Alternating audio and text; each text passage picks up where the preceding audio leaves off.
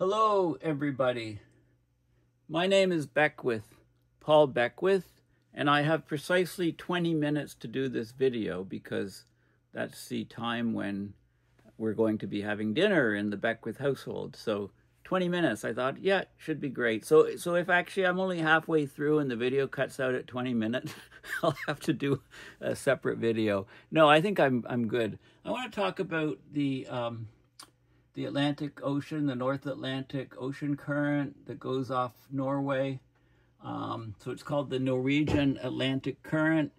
It's actually losing less heat uh, to the atmosphere as, on its passageway up north. So it's bringing up more and more heat further and further north. So there, a new paper came out. It was just published uh, a couple days ago and uh, peer-reviewed paper, which looks at exactly what is going on here. So I came across this from Jan Umsonst's work. Um, he posted it on Facebook, the details and the link, and then I went and carried, you know, invest. There's a blog which is excellent talking about it, and then there's actually a peer-reviewed paper on it, which is which is um, why it's today's topic. So first of all, you know, how is it connected to the AMOC, the Atlantic Meridional Overturning Circulation? So this diagram shows it all. We've got the current coming up here. The Gulf Stream comes up across the ocean, bringing tremendous amounts of heat over to Europe and to the Arctic. And then it loops around this way here, and then it branches up. We've got the Norwegian Atlantic Current coming right up here. And then, of course, as the warm ocean water loses heat, um, and it's very salty, then you know combined with the out uh, on the outskirts of the of the ice um, when the ice is forming it rejects salt so the water gets not only does it cool down on its passage but it gets very salty sinks to the ocean floor and completes the global overturning circulation pattern. So of course the concern is that this thing has been slowing down and if it shut off it would have implications around the world. So what's happening in this particular branch here is the volume flow rate um, maybe slightly reducing, but it's not. That's not what's happening here in the last uh, few decades.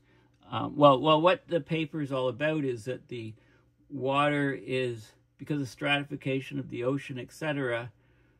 The, the the the the volume flow rate is think of a cross sectional area moving at a certain speed. So you've got an area in square meters times the speed, meters per second. You get meters cubed per second, which the unit is the Sverdrup, is 10 to the 6, a million cubic meters per second.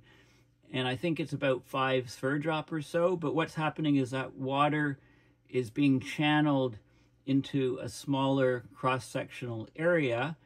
And it's actually, therefore, to get the same volume flow rate or close to it, you have to speed up. And because that water's moving faster, there's less time for the heat to dissipate to the atmosphere. Um, you know, one, one idea of where the heat's going is maybe vortices, lateral vortices, but that's not the case. The other thing is that the air over the ocean there is warming at much faster rates than the water, right? Water has a huge heat capacity.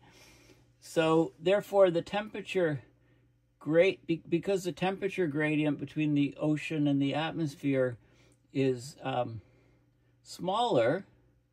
Well, well, there's already more heat in the atmosphere, so less heat is going to go up to the atmosphere from the ocean. So more heat is staying in the ocean current. That's the other main factor. Um, and I can talk about the heat capacity of air, water versus air, and you can see the numbers here. Um, the heat capacity Density of water, 1,000 kilograms per cubic meter. Um, the specific heat, 4.18. Um, kilojoules per kilogram Kelvin or joules per gram per Kelvin. Um, and uh, so you can compare these two numbers. And for, for air, the density, of course, is much lower, 1.293 kilograms per cubic meter um, specific heat is one. So, so the prop these properties are vital for for the way the climate system operates, and uh, so that's a very important factor. I just wanted to show some of these things first. So let's go back to the actual article here.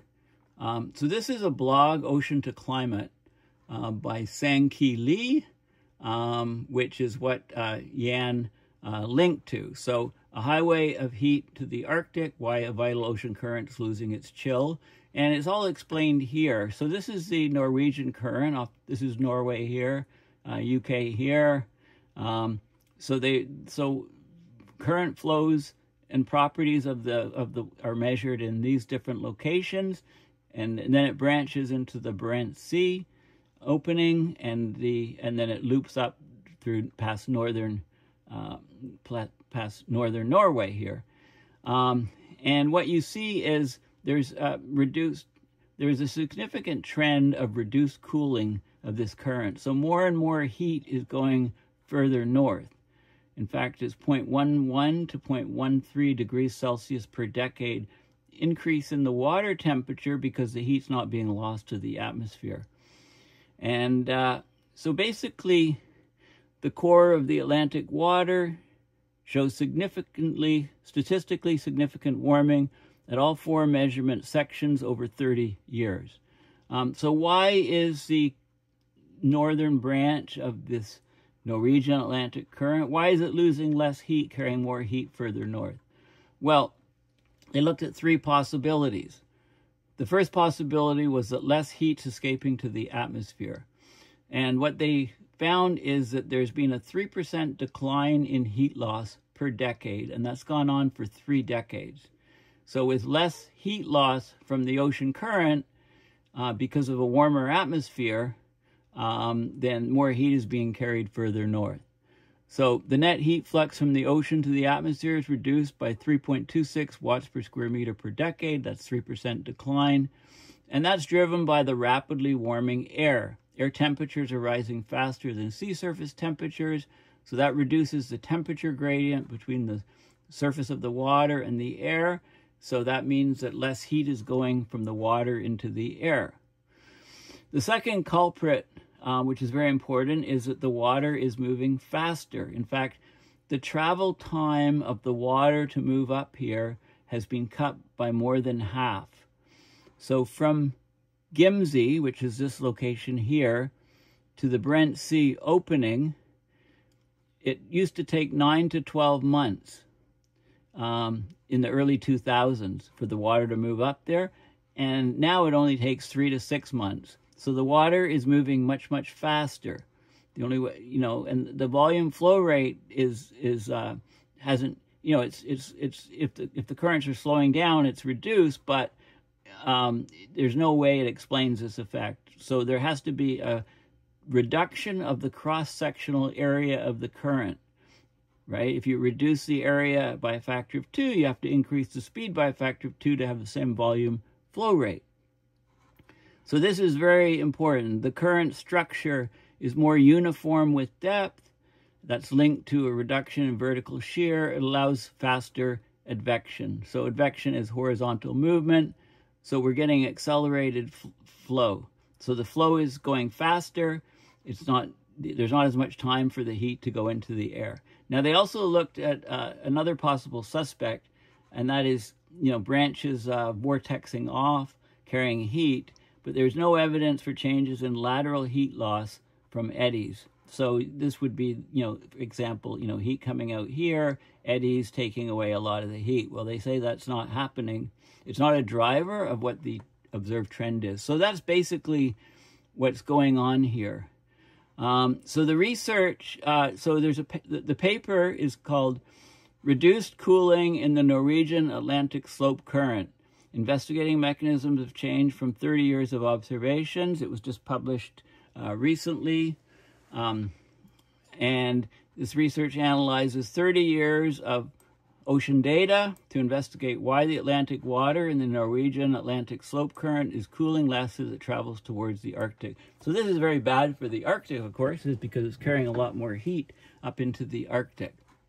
They used observations from 1993 to 2022 so basically, uh, 30, 30 years of data, and uh, you know they got this uh, trend uh, where the current is retaining its heat. um, the the rate of retention is is uh, well, it was 0.11 or so uh, degrees Celsius per decade. This this is a this rounds. So they looked at three possible causes: the atmospheric heat exchange, lateral eddy activity, and the speed of the ocean current. So the eddy-driven heat showed no significant change. So reduced air-sea heat fluxes and faster advection speeds are the primary drivers. Um, they talk about a shift to a more barotrophic current, the, to, and and uh, basically uh, I, I, can talk about that. Um, I think I've got something on that too. Um, barotrophic is uh, that this is a paper. Yeah, barotrophic. So we've got fluids like air or water. Density, if density only depends on pressure, it's barotrophic. If it depends on temperature and salinity, it's baroclinic. A couple physics terms on how fluid moves. Okay, and this is a good explanation. I'll give these links. But, you know, what are baroclinic and barotrophic waves? Okay, uh, so it talks a little bit about the physics of them, but basically, um, for barotrophic, fluid density depends only on pressure. Um, it depends on pressure and temperature. And they have a diagram here. So there's just a pressure change here. Um, so you don't get any vorticity or rotation. If you have a pressure change here and a temperature change this way, then then you get uh, a, a, rotation effect. You can get eddies and things. So so that's just some of the physics of it. And uh, yeah, so we'll go back to here.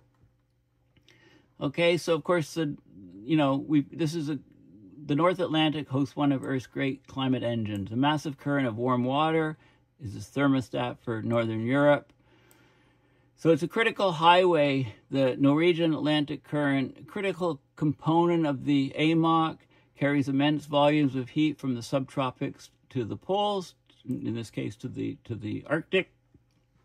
And it keeps high latitudes, for example, in the Norwegian countries, habitable and also milder temperatures in the UK, etc. But there's another equally vital function. As it travels north through the Nordic seas, it releases, releases heat to the colder atmosphere. It transforms the water transforms the water itself. The cooling of the water makes the water denser, allowing it to eventually sink and begin its return journey south to the deep ocean, the overturning part. So, for the planetary engine to run smoothly, the cooling must be efficient of this current. And that cooling is being reduced significantly, like I said, from, from is what this paper, the finding of the, the main finding of the paper is. So, therefore, that branch of water can extend further into the Arctic, continuing to warm. And I guess if it keeps narrowing and keeps narrowing, eventually vanishes. Um, you know, something has to break. So so basically, and they say here, you know, it's faster than 0.1. It's 0.11 to 0.13 degrees Celsius per decade. The reduction in the cooling of that Norwegian Atlantic current may sound small, but it's a monumental shift in the heat budget of the planet. It's like a persistent fever in a vital artery of the global circulatory system. We can also often think of the ocean current system as like the blood coursing through your veins, right? So if then something happens with that, um, you know, it's a problem. And they in the, in the in the study they called it a northward amplification of Atlantic water AW warming. Okay, and then they talked about the reasons for why it's happening um, and the implications. But let's go let's go to the paper now because I'm uh, I got to stick with my 20 minutes, like I said, or I'll be in trouble. Okay, so this is a paper. Um, that was just published. Okay, uh, it was just published January 5th, 2026. There you go. Uh, accepted November 27th, and then and then there's usually at least three reviewers, and then they might ask changes to be done. So it was accepted by the journal um, Ocean Science, and then published uh, just a couple days ago. So the Norwegian Atlantic Current NWAC, it's a principal conduit for poleward heat and salt transport within the AMOC. Plays a key role of water mass transformation in the Nordic seas. Its variability exerts a critical influence on high latitude climate, Arctic Ocean inflows from the rivers, etc., and deep water formation in the Nordic seas. So they looked at, it's a 30-year study, four different cross-sections. Um, they measured temperature, salinity, etc. with depths, also the velocities of the current, and uh, they found this significant reduction of the uh, rate that that water is cooling. So more and more hot water is getting further north. And they looked at three possibilities, decreased air sea heat fluxes, right, which is due to the heating air, air heating quicker than the water because of the greatly lower heat capacity of air. Uh, reduced lateral heat loss due to decreasing eddy activity. They found that wasn't a factor. Uh, but they looked at it and there was increased advection speed, so horizontal speed of the key current.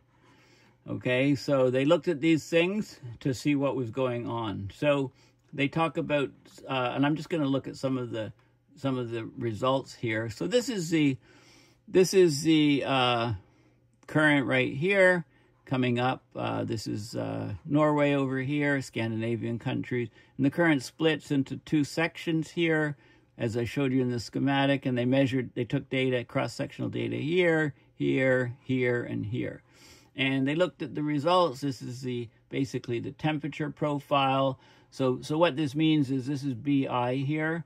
Um, you can go across here, and that shows the distance in kilometers um, across here. And this is the profile of the water. So, you know, we get that shallower water on this side and it gets deeper and deeper and you can see the different temperatures and you can see salinities and you can see the velocity of the current and you can look at how over time um, this is uh, showing and, and oh, well, these are different locations, but basically, so this is BI here, um, this is BSO here, profiles, and then GI here, and uh, SI here. And you can see, you know, S, so, so this profile across here, you can see very uh, fast here, fast velocity, going right down to the ocean floor here. And then here, this, this guy here is very fast velocity closer to the coast. Okay, so they looked at data and they looked at the timing, how long it took the water to move, and uh, and uh, basically, you know, there's some interesting um, diagrams showing different um, different profiles and in the core and non-core sections, and you can see, you know, they looked at the heat fluxes and they looked at the temporal variation, how long it took the water to move, to find out that the uh, the the, the um, the the speed of the of the uh, current uh, was increasing greatly increasing, reducing the transit time of the water. So basically, and then they, they uh, looked at the trends over time in graphs and so on. And uh, yeah, so they found out uh, that this current is significantly changing, right? The heat flux uh, to the atmosphere is significantly reducing um, and the, the, length of time for the transit is significantly um, reducing because of the speeding up of the of the water flow. Okay, so this is um, this is a really important and interesting study because uh, you know we'll go back to to this guy here because this is a big this is an important branch of the AMOC as I showed here you know, it's this whole branch here that we're talking about. So a significant change here, you know, we know the whole AMOC is changing. So it's it's interesting to see how the different components are, are changing. Okay, so um, anyway, very, very interesting study. Um, and I think my time is about up. So please consider going to my website, paulbeckwith.net, and donating to PayPal to support my research and videos. And I also have a uh, GoFundMe here um, to, for if some people prefer that. And uh, then, you know, you can find me. I'm all over social media, so please, uh, you know, find and share and share these videos. So, so thanks for listening, and uh, bye for now. I think I made it to my uh, 20 minutes. Okay, bye for now.